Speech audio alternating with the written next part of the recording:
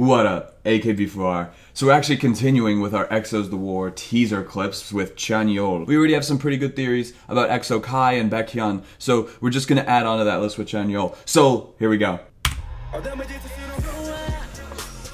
I like the cotton candy hair you got going there. Oh. Oh, so you went from like strawberry cotton candy flavor to like the rainbow one. Hold on. I need to play that one more time. I'm not going to talk, and I just want to listen to the music this time because I feel like this may be my favorite song off the album. Even though I haven't heard anything, this style is what I look for. Here we go.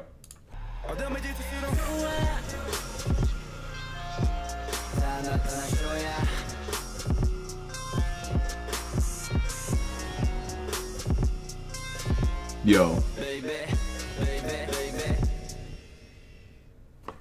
I hope that's one of the harder songs off the album. That's definitely gonna be one of those like instant on Spotify playlists. Like, ooh, I gotta reel myself back because now we gotta go theory time. So right just before even going into the theory, that just sounds so heavy. I feel like this song's gonna be the one that's supposed to like dispel all the haters who have been like crap talking EXO saying that they're not good anymore or you know everything that you do see on the internet with them. But I'm really looking forward to that one. His cotton candy hair is on point too. But let's go get the whiteboard out before we start spilling out any more of the theories. Chanyeol saw Mercedes. He obviously likes really nice cars, and his whole goal in life is going to be finding the nicest cars. In his music video, for whichever one he has, you know you're just going to see a whole line of them, and he's going to be driving the Mercedes. What does that mean? He just likes going fast. We know that he's going to be spitting rap that's going to be so fast that we can't have anything to do with it. Fire. He had a match. He's saying with this little teaser that this is just a little bit of the fire. That's why you just get a little match, but he's not throwing it into the fuel, you know, to really get it going. Here's the big one basketball.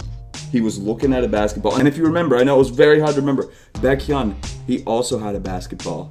If this is going on the storyline that they are from an alien planet, this is them saying that they don't want to return. They want to become NBA stars. Both Chanyeol and Baekhyun want to become the NBA stars. They don't even want to sing and dance anymore.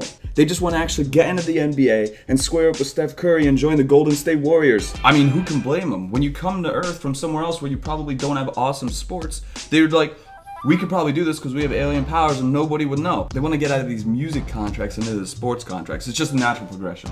These are some crazy revelations I'm giving you guys, but I, I couldn't keep it to myself. I had to let everybody know.